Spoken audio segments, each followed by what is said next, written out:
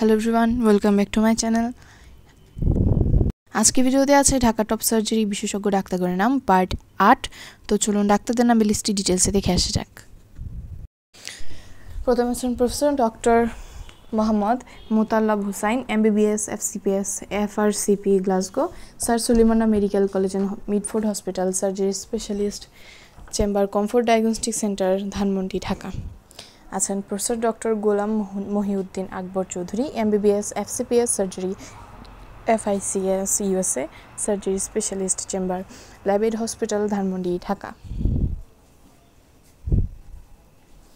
আছেন professor doctor Mohammad Rakibuddin, MBBS, FCPS surgery, FRCS Ireland, FRCS Edin, FRCS Glasgow. Laparoscopic surgery specialist chamber, অস্কারারি hospital Gandaria Dhaka. আছেন professor doctor Syed Sirajul Karim, MBBS, FCPS, FICS, surgery specialist, chamber, popular diagnostic centre, Dhanmondi, Dhaka.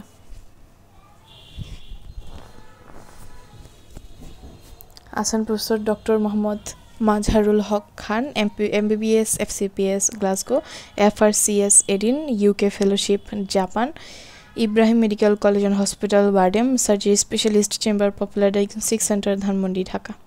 আছেন doctor Mohammad Ehsan Habib, MBBS, FCPS surgery, higher trained in paediatric colorectal and cancer surgery national institute of cancer research and hospital surgery specialist chamber Islami bank hospital, Mirpur, Dhaka. আছেন doctor Aminur Rashid Minu, MBBS, PhD, Japan, surgery specialist, chamber Labaid limited, diagnostic, Pallabi, Mirpur, এগারো, ঢাকা।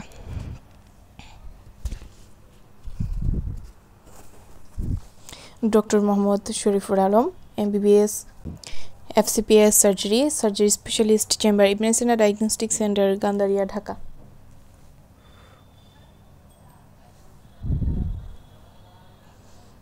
আছেন doctor ATM Asaduzzaman MBBS FCPS surgery surgery specialist chamber comfort diagnostic centre Dhanmondi Dhaka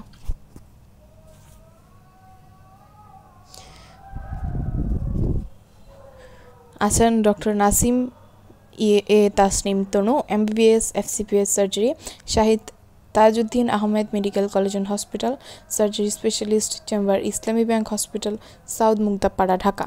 আজকে video পর্যন্তই ছিল। আশা করি ভিডিওটা আপনাদের উপকার আসবে। চ্যানেলে নতুন হলে অবশ্যই সাবস্ক্রাইব করে দেবেন এবং পাশে বেল বাটন অন করতে ভুলবেন না। এবং ভিডিওটি ভালো লাগলে অবশ্যই লাইক, শেয়ার, কমেন্ট করবেন। ধন্যবাদ।